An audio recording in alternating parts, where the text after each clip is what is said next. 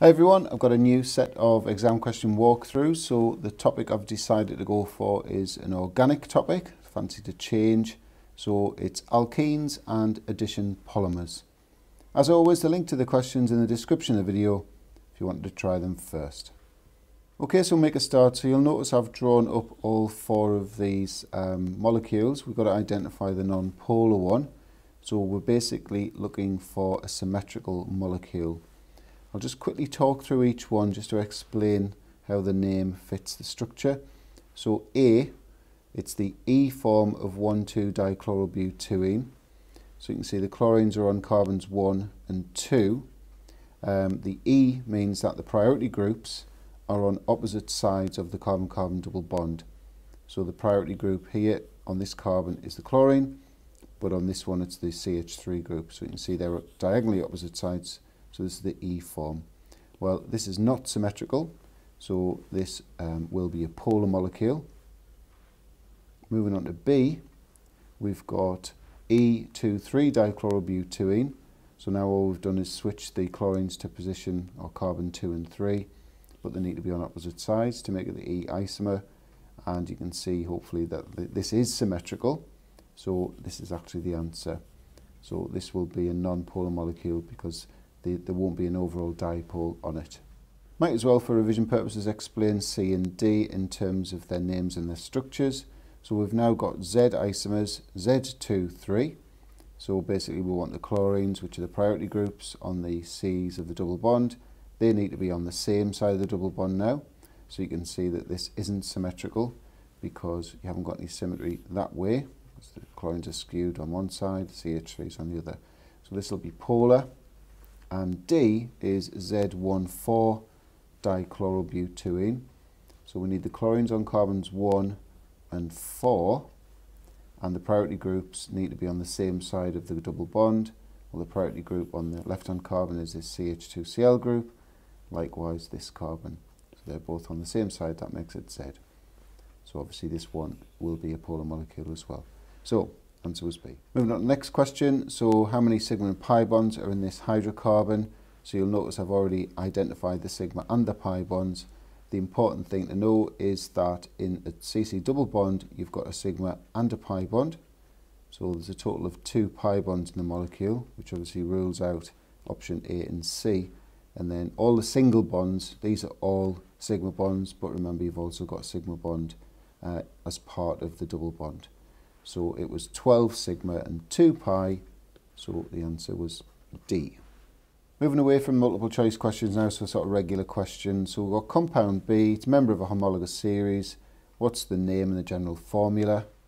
So obviously that's the alkene homologous series with the general formula CnH2n. Next part, reagents and conditions need to convert B into a saturated hydrocarbon. So basically we want to turn this CC double bond into a CC single bond so we're going to react it with hydrogen.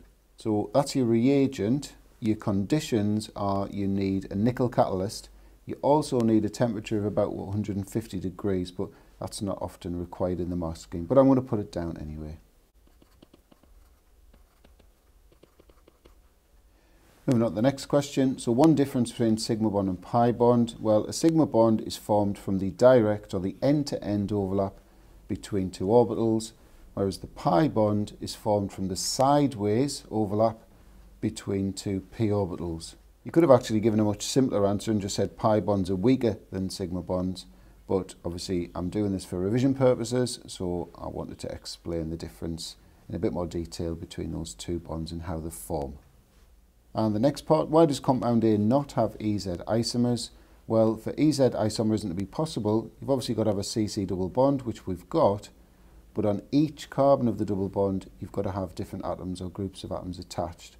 So the left-hand carbon, yeah, we've got different atoms, groups of atoms attached, CH3 and H.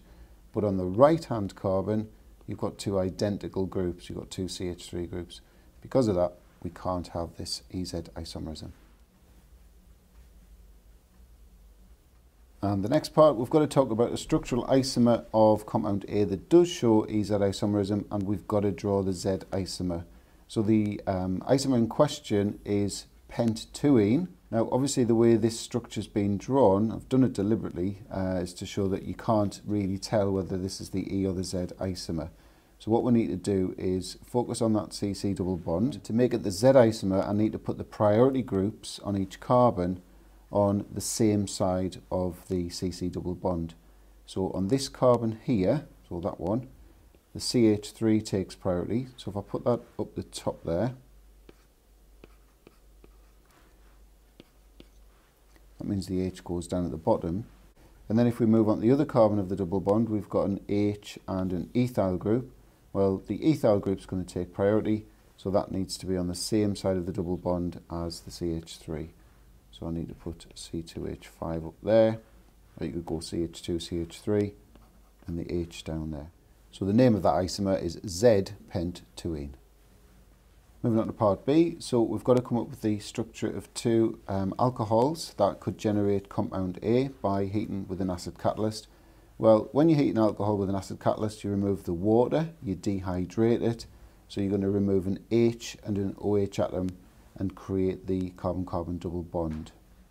So obviously this isn't the final answer, all I've done is broken that double bond and we're going to put the H and the OH on, so we can go H, OH that way around, or we can go OH, H, that way around. So moving on to the final question now, this mechanism. So I've already drawn up compound A and HBr. So we'll get the dipole on the HBr molecule. It's this way around because bromine's more electronegative than hydrogen. So because of that, a pair of electrons from the double bond are attracted to that slightly positive hydrogen. So we show that with that um, curly arrow and that will break the HBr bond by heterolytic fission and we show that with that curly arrow. Now the question hasn't specified which product you're going to make or you have to make so I'm going to do both. So quickly just go down this left hand side so I've put the hydrogen on this carbon here which means we've got a positive charge on this carbon and we've got that Br minus ion as a result of the heterolytic fission. And then that pair of electrons on the Br minus is attracted to the C with the positive charge generating this product here. Down the right hand side I've put the hydrogen on this carbon so this one here. So that means the plus charge goes on this carbon and the same thing happens here and we get that product so which is going to be formed in the greater amount which is going to be the major product well we've got to focus on the carbocation intermediate so this stage here so if we take the left hand one first so we're looking at the carbon with the plus charge this has got one, two, three carbons directly attached. So this is a tertiary carbocation intermediate. Moving on to this one, so the C with the plus on is bonded to one, two carbons directly.